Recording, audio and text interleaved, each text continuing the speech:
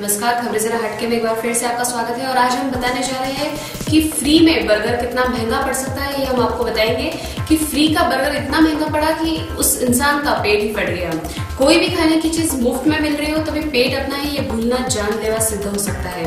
ऐसे में कई बार फ्री की चीज़ खाना महँगा सौदा साबित हो सकता है। इसका ताज़ा उदाहरण देखने को मिला है राजधानी दिल्ली में, जहाँ के एक रेस्टोरेंट ने चिली बर्गर खाने का कॉम्पिटिशन रखा। साथ ही ऑफ़र था की जो सबसे ज़्यादा बर्गर खाएगा, उसे एक महीने तक रेस्टोरेंट में फ्री का खाना मिलेगा इसी कॉम्पिटिशन में दिल्ली यूनिवर्सिटी के सेकेंड ईयर के गर्भ गुप्ता नाम के एक स्टूडेंट ने बाजी तो मार ली, लेकिन इस चक्कर में उसके पेट का अंदरूनी हिस्सा फट गया।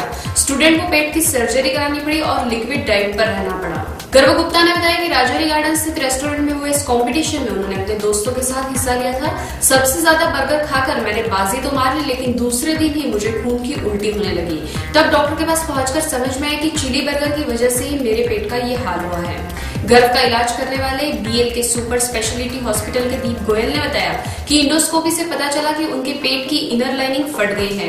लाइनिंग का जितना एरिया फट गया था, उसे सर्जरी के ज़रिए बाहर निकाला गया। जो बच गया था, उसे ठीक करने के लिए दवाई दी गई है।